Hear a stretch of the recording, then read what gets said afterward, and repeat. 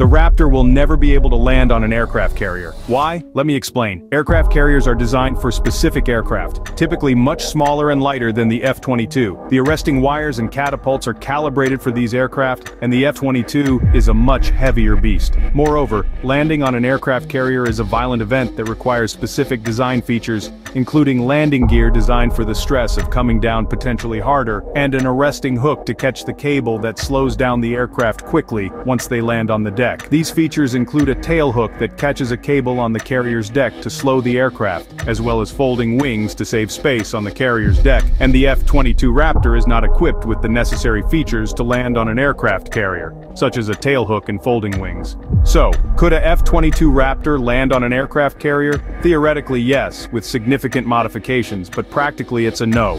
Forcing it into that role would be like trying to fit a square peg into a round hole. So there you have it.